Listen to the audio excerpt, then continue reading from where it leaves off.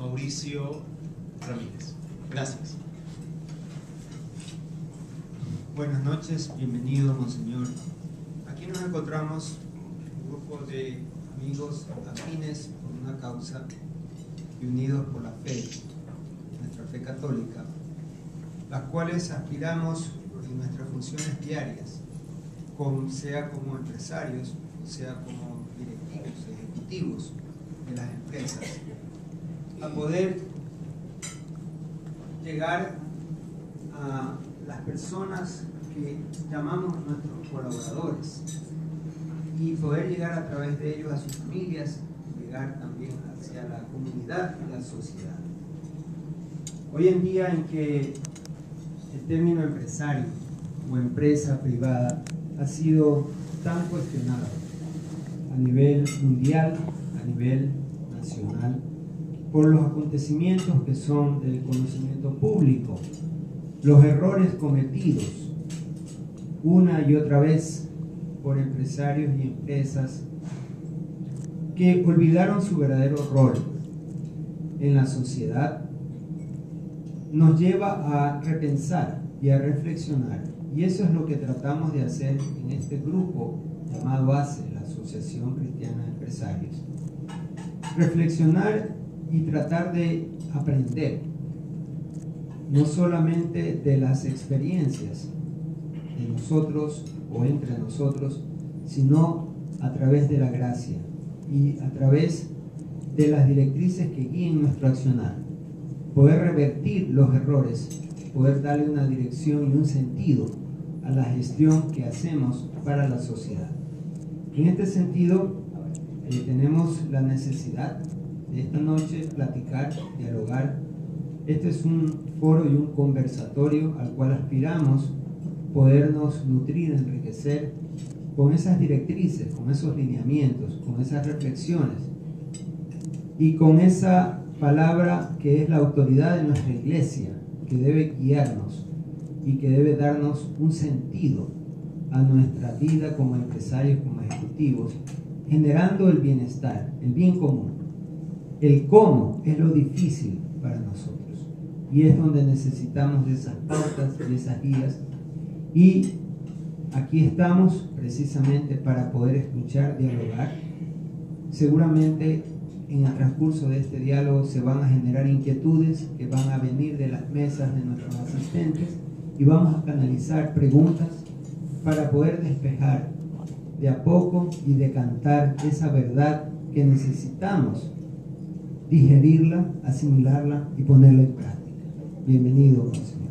Muchas gracias. Estimados amigos, como esto se ha definido como un conversatorio, me pareció un poco pedante traer papeles, citas y cosas, digamos, que pudieran darle más bien aspecto de una conferencia. Si se trata de buscar la iluminación y el impulso de la doctrina social de la Iglesia, podemos ya remontarnos al origen de la llamada cuestión social, porque doctrina de la Iglesia sobre la sociedad la vemos siempre. Ahí tenemos tratados verdaderamente eh, significativos desde el tiempo de la escolástica, ¿verdad? El régimen de los príncipes escribía Santo Tomás, y la famosa escuela de Salamanca, de Victoria y todo, que fue la que iluminó situaciones históricas de tantísima trascendencia y calado como pudo ser el encuentro entre los pueblos europeos y los americanos. Ahí es donde se generó toda la doctrina de los derechos humanos, arranca desde allá. Pero el problema propiamente moderno arranca más bien de la industrialización y de la industrialización concretamente en Inglaterra y en un punto focal eh, muy determinado que es Manchester, hoy día más conocido por su equipo de fútbol. En Manchester vivía la gente, mucha gente, de una famosa industria de telas que había Inglaterra eh, desarrollado y que los reyes se preocupaban de regular, proteger y de convertirla en la fuente de riqueza de ese país, mientras otros países que no progresaban en este sentido de la producción se iban estancando en sus pequeñas toneladas de oro que tenían por ahí, pero en definitiva pues no habían aceptado, con lo que el teórico Adams, Adam Smith pues arrancó como el estudio del origen de la riqueza de las naciones. Ahí es donde, como es de todos ustedes conocido, gente que inventó el telar mecánico.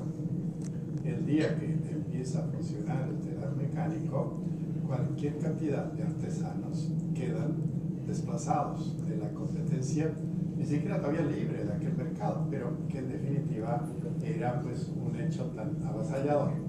La, el ahorro de, costos y la eh, calidad del producto y toda esa cosa que produce la máquina en relación a, al artesanal, pues que tiene su gracia, pero hoy día lo consideramos más bien como un, un producto de tipo turístico, digamos, uno compra artesanías cuando se va a Indonesia para traer algo típico de allá, pero es algo totalmente eh, fuera del río central de, del gran paquete que hace la economía y el desarrollo de los países.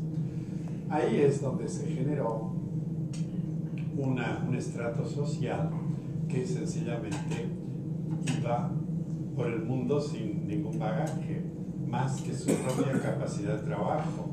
Y esa capacidad de trabajo entraba en el mercado laboral y habiendo tal abundancia de oferta, pues efectivamente los salarios eran eh, miserables y había trabajo infantil y había ni sé cuántas horas de trabajo diario, todas esas cosas que son pues eh, material de los cuentos de Dickens, algo así, de cómo hay por ahí unas gentes voraces que por hacer un dinero pues no les importa que otros se mueran de hambre y todo eso. Ese problema va generando, también va acompañado de una doctrina económica y política. La económica es la teoría del mercado, el mercado regula las cosas y obtiene siempre la última distribución de recursos porque cuando se produce algún trastorno, la famosa mano invisible le, le, reorganiza dentro de, así como naciendo de su propia vida, ¿verdad? El mercado él mismo produce los correctivos necesarios para que no vaya a demasiado lejos cualquier trastorno que se pueda producir.